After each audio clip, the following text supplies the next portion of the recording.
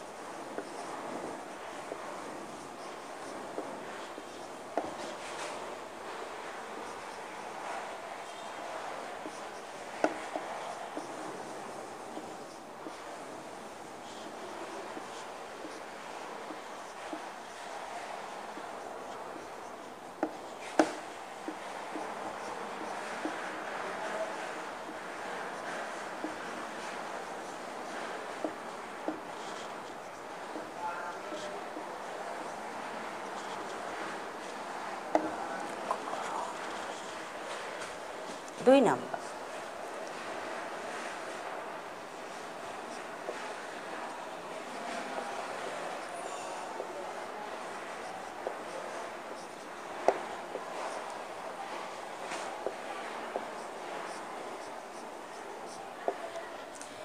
এই অ উচ্চারণের নিয়মের মধ্যে আছে আবার আদ্য অ। আদ্য মানে আগে।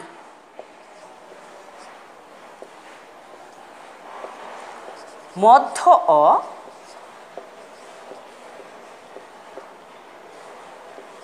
অন্ত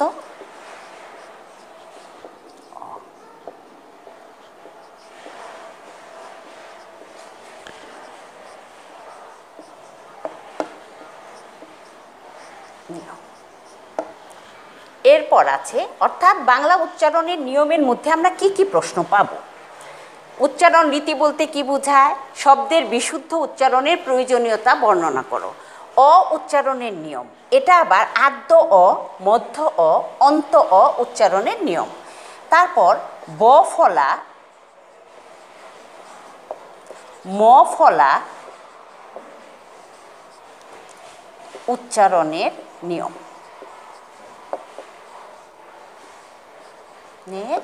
নিয়ম। এ ধ্বনি উচ্চারণের নিয়ম।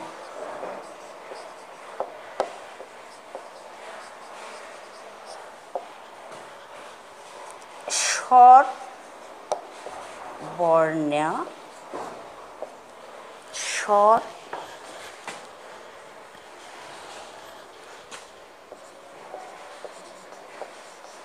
বর্ণ উচ্চারণের নিয়ম এছাড়া আরেকটি প্রশ্ন থাকবে সেটা হলো যে কোনো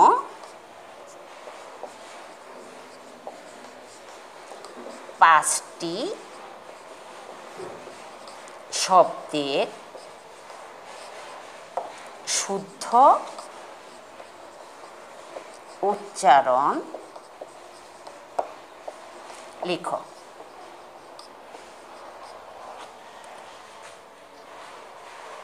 আটটি শব্দ থাকবে।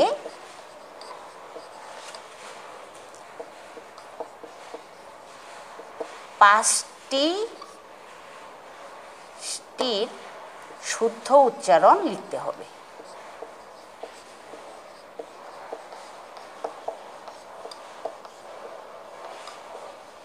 লিখতে হবে। তাহলে শিক্ষার্থীরা, বাংলা উচ্চারণের নিয়ম ব্যাকরণের প্রথম বিষয়। এই বিষয়টি পড়াতে গেলেই আমাদের এই যে বিষয়গুলি, অর্থাৎ উচ্চারণ রীতি অ উচ্চারণের নিয়ম, বফলা, মফলা উচ্চারণের নিয়ম, এ ধ্বনি উচ্চারণের নিয়ম, স্বরবর্ণ উচ্চারণের নিয়ম এবং আরেকটা প্রশ্ন থাকবে, সেটা হলো যে কোনো পাঁচটি শব্দের শুদ্ধ উচ্চারণ লিখো। আটটি শব্দ থাকবে, তোমাকে লিখতে হবে পাঁচটির উত্তর। এখন আমরা চলে যাব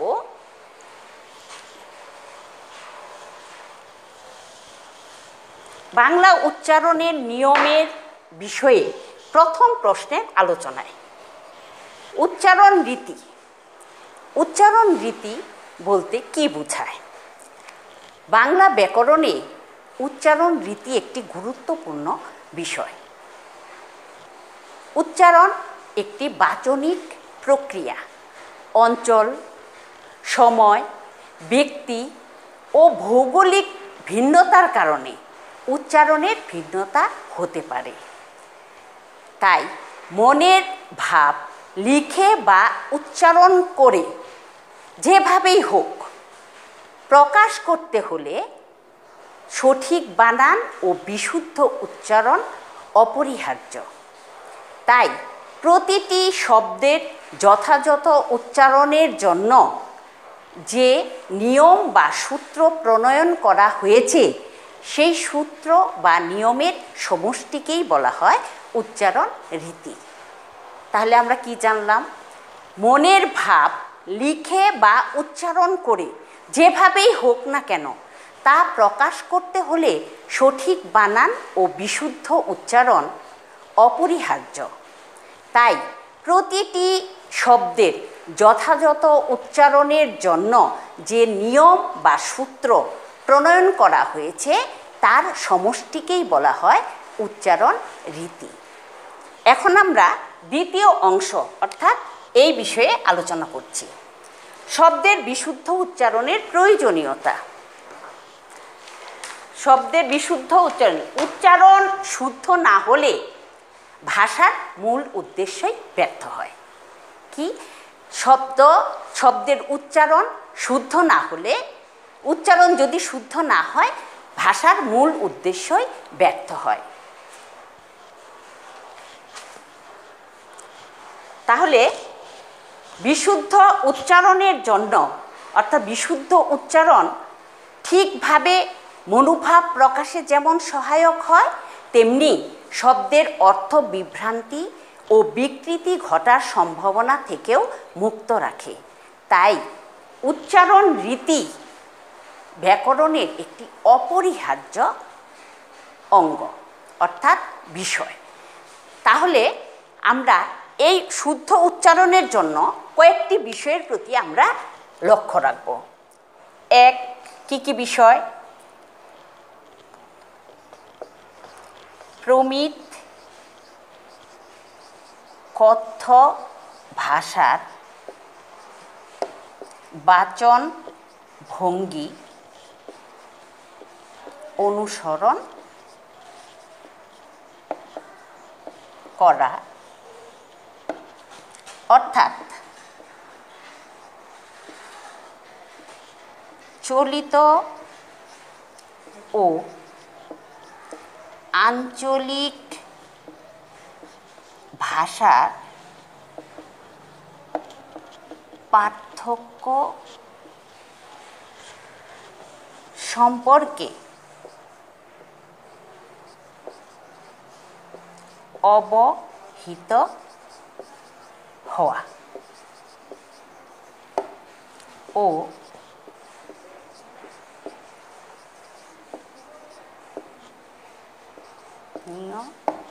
ক্ষেত্রে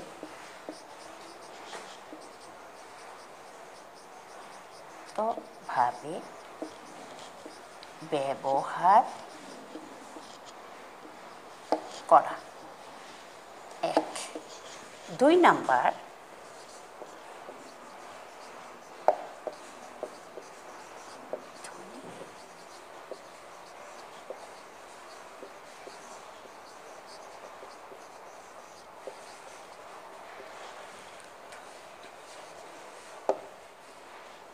স্বরধ্বনি ও ব্যঞ্জন ধ্বনির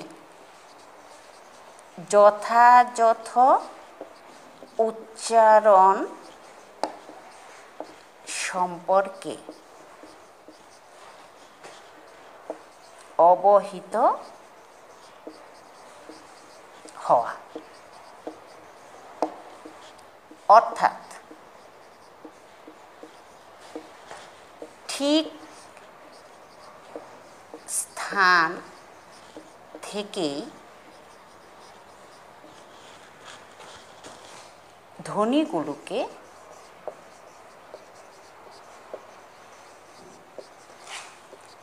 উচ্চারণ করতে হবে। তিন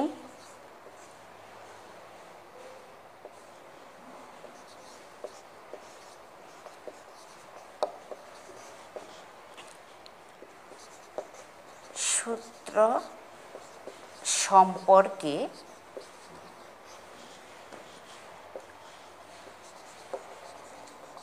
সম্যক ধারণা লাভ করা চার আঞ্চলিকতা লিকতা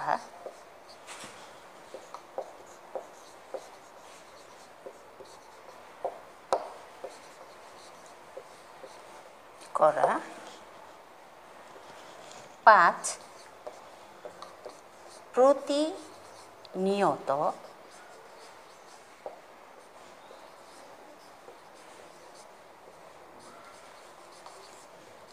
অনুশীলন ও চর্চা করা। প্রয়োজনে অভিধান দেখতে হবে।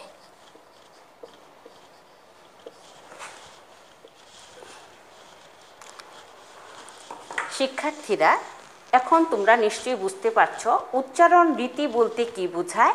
শব্দের বিশুদ্ধ উচ্চারণের প্রয়োজনীয়তা। তাহলে শব্দের বিশুদ্ধ উচ্চারণের প্রয়োজনীয়তা পড়তে গেলেই আমাদের এই পাঁচটি বিষয়ে দৃষ্টি রাখতে হবে। তাহলে আমাদের উচ্চারণে তেমন সমস্যা হবে না। প্রিয় শিক্ষার্থীরা, আজ আমাদের প্রথম বিষয়টা জানা হয়ে গেল। পরবর্তী ক্লাসে আমি তোমাদের এক এক করে ছয়টি বিষয়ের ব্যাকরণ আমরা পড়াবো। তোমরা সবাই সুস্থ থাকো, স্বাস্থ্যবিধি মেনে চলো এবং ভালোভাবে পড়াশোনা করো। আজ এ পর্যন্তই। खुदा हाफिज़।